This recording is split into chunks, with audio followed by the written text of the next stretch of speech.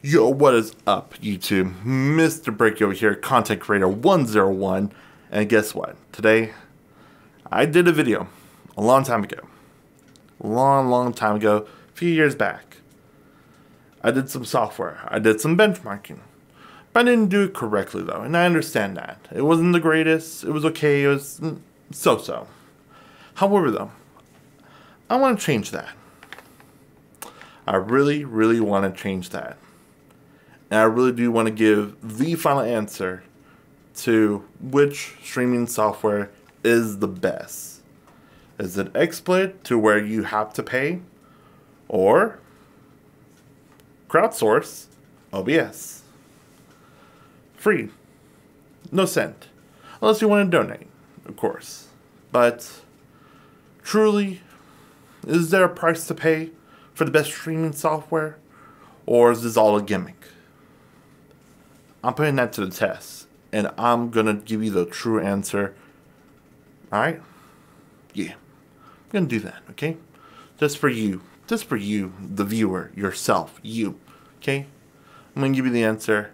I'm going to do all the hard work. We're going to benchmark and do the best we can. And I really do hope you're going to like this video. Please do. Please. This was an expensive video. This is this was not cheap. Okay, please help me buy my merch, subscribe, like the video, please. Okay, this was not cheap. This was expensive. Please. Okay, yeah. All right. Let's go ahead and jump into it. Alright, and welcome back to Building Tips with me, Mr. Breakie, of course. So right here, we're doing a time lapse. Took a long time, but we got it working. It's up and running. Yay! So I'm really excited and happy. But however, I just want to give some tips out for anyone and everyone that wants to start this. So for me, in this case, you always want to check your wires, make sure nothing's damaged, nothing's cut. But of course, if you're starting off brand new, just make sure you have the correct wires, everything's connected through, and all that fun stuff. So for my case, as you can see, the wire for the CPU to the motherboard was kind of like in the front end and for some reason at the pretty much when I did it beforehand it wasn't connecting it wasn't like going through from the backside. I don't know if I was just like not thinking straight or just something wasn't like pushing through but I did went ahead got that fixed. So 100% it's back up and running. I put it in the backside connected everything powers up. So 100% yay. Another pro tip that I recommend is actually getting a microfiber cloth. Now for me, I don't have this, so I definitely need to buy one, but I recommend those. That way you don't get anything tangled or anything like I guess like caught with a just a regular cloth of the towel. And on top of that, you do want to make sure at the bare minimum 90% or above of rubbing alcohol. Reason for that is because when you get rubbing alcohol, it does leave a residue if it's below 90% and that's not what you want to do for your electronics. You want to make sure that it doesn't have that residue of the rubbing alcohol. Want to make sure it's damped, not very wet on everything, mix it in with a little bit of water, mix it in with the 90% or 99%, whatever amount you have, but make sure it's at the bare minimum 90% or above rubbing alcohol. Also, what I could recommend is for another pro tip is to make sure you have pretty much like magnetic tools, aka screwdrivers, to make sure that they can actually connect and latch on to screwdrivers, okay? So, you know, nothing omega powerful, but of course, it's something that can just help with screwdrivers and screws. Don't get lost, don't get damaged or anything like that. Don't drop onto the motherboard or in the case. So, you know, this is a good way to just manage and just make everything clean and easy to install. Now, this one I 100% guarantee to get a DataVac blower or you can do a vacuum but do keep in mind just want to be careful for either one that if you get a blower or vacuum that you do have small parts on the motherboard screwdrivers might come loose. So just want to double check on that just make sure you know not doing massive force for it and all that thing but also at the same time just want to make sure everything's clean. Stay away from the cam blowers. I mean they're not bad or anything they're awesome they're great is is that they're somewhat of like a one-time use or maybe like a few time use but that's about it and you're gonna go out buy another one that's another five dollars ten dollars. However much you're spending you might as well just go get a blower.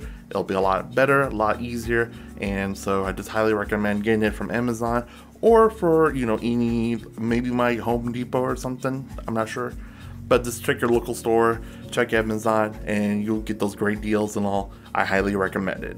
And on top of that, you also do want to check and make sure your fans are good, everything's clean, everything's got it out, and just make sure everything's connected again. So whatever you take out, make sure you do put it back in, plugged in.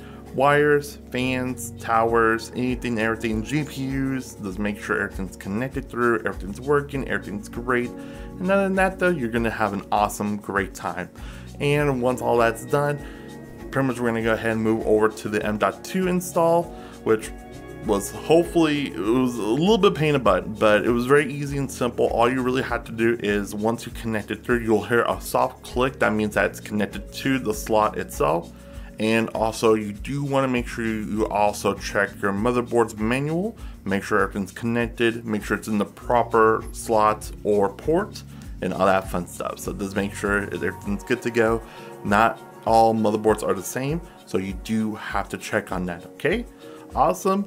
And those are kind of really it for tips. Just make sure you have the right tools, everything's simple, clean, and just make sure, you know, like on my side, I was on a carpet, so I kind of every once in a while touch like the case of the metal or something, you know, just kind of just make sure you kind of discharge yourself just to make sure nothing gets like electrocuted or anything like that, like any spark or, you know, any shock to the motherboard. So just want to make sure everything's good. Okay, awesome. And we're gonna go ahead and go into the numbers. So right now we just got confirmation that we did went ahead and got confirmed for the M.2 slot. So it did work. Awesome. Everything works. Everything's connected. So now what we want to do is so running it's at X2, which we need to go ahead and go into events and go to onboard device configuration and drop down to 2 over 2, which is the one that's on and then go ahead and switch it over to X4. And that's all we need to do. And of course, like I mentioned before, do double check with your motherboard because some cases, some ports of the device itself, of the motherboard, do get turned off. And so just a heads up for that. So we want to go ahead, just make sure everything's enabled, everything's good to go, awesome. And then we're going to go ahead and exit out. Uh, but we do want to save though, so we need to go ahead and go up save changes and then reset. Yes. Alright, welcome back everyone. Hopefully you had a lovely time with the time lapse. Um, it was a little bit fast. It took a very long time. It just it was all good. So I just made it into a time lapse. This is me just cleaning out and just getting everything installed, redone, redo, and all that fun stuff. So yeah, so it was awesome, but it, it took a long time. Now, like I mentioned before, we're going to look into the numbers, but however though, I want to do a quick test of the loading for OBS and XSplit. And the results might surprise you. Take a look.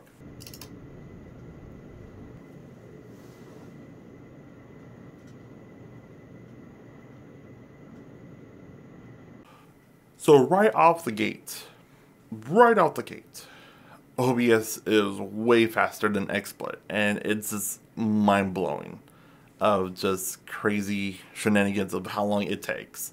Granted, though, at the beginning, XSplit did ask for a login, so I had to log in, make sure things good to go, restarted the computer, brought it back up again, and then did it from there. And of course, still amazing results. OBS completely opened up instant, and XSplit took a, a few seconds, not very long, but as you can see from the results, it does take a little bit of time to get it open. So now we're going to go ahead and go into the numbers. So I just want to keep a note, 5 minute testing on average of both the CPU and GPU usage and all. And also I have actually two graphs from the Twitch Inspector, part of my way of testing and benchmarking streaming. And so that's actually some crazy information to see. So go ahead, check out the numbers, and we're to talk more after the video.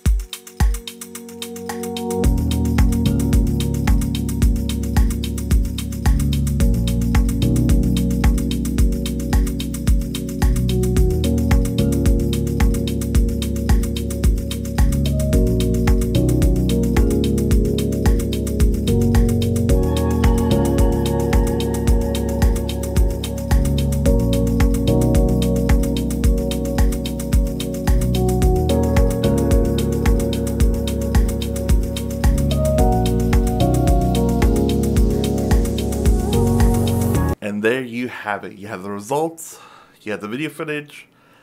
I don't know what to tell you. It is mind blowing that OBS is a little bit pretty much powerful than XSplit usage wise on everything that pretty much OBS is actually your top number one to actually use. However though, I just want to keep a note though as like with usage wise on everything, it's not like omega difference and on everything. There, there's a slight percentage wise, there, there's a little bit of a gap, but not something severe. So either one you use, just keep in mind of what you're using. So if you are going to be a one PC streaming on like myself, then OBS will probably be the best thing. Do keep in mind though, and I have issues with this. Um, many times my friends have issue with this where OBS for some reason won't pick up the game. Just kind of, you're just gonna have to fiddle around with it for a little bit. So just want to put a little note for that. To me, OBS Studio is kind of like a fiddle around with it and you'll be good to go. You're golden on everything. So like it's not not bad. It's awesome. It's great. I love it. Same thing with XSplit. To me, XSplit is kind of like a plug and play type of thing to where it does take a moment. It does take a moment to load. It takes some time to set up everything. But once it gets going, it's going. Like once you have everything set up and done, close it out, reopen it, boom, like you're ready to go, you're ready to stream. While with OBS, it does take does a little bit time to just make sure everything's loaded through game wise, make sure everything's captured, then you can go. So it's just very minor stuff not like a minute, not two minutes or anything like that. Just little seconds, you know, just microseconds, okay? So I just want to put my note for that. So pretty much in conclusion, I'm not sure how I mentioned this back in from the old videos that I did before, but it doesn't really matter. It honestly doesn't. Whatever software you use, it's fine, okay? I highly recommend to stick with XSplit or OBS Studio do not do any of those other like Streamlabs OBS or Stream Elements OBS. I don't recommend it. It's not the great. It this bleh, you know. Even with Studio Twitch Studio, it's not the greatest. I've done it before. Which, by the way, comment down below if you want to see that information. Other than that, though, it's not worth it. Stick with OBS Studio and XSplit, and just you know, just have fun. Have fun streaming, okay? Don't, don't have to worry about the technical stuff and all that thing, unless you're into some issues, of course. But that's why I'm here to help. And I'm here to give you the final answer. Is OBS the best, or is XSplit the best? And truthfully, honestly, the truthful answer, in slight, OBS is the best, technical wise. However, though, it really doesn't matter those little percentages don't do much and on everything. It just depends on the game you play, even how big. Because I was actually running at 1080p, 60 frames at the 6 bit maximum of internet usage for Twitch. And both ran fine. Didn't drop frames or anything. And I was just streaming. Everything worked great and normal and awesome. So honestly, it's up to you. You pick whatever software you have. If you're tight on a budget all that OBS Studio is awesome. If you have money, want to give it a shot, XSplit is once again an awesome program. Okay? It's really up to you. I'm Mr. Breakie. You have a great one, great time, and I'll see y'all around. Bye bye.